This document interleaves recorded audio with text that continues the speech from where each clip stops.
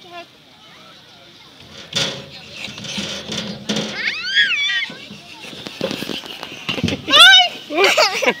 and then your sister came down as well. Wait. Okay. she wants to go again.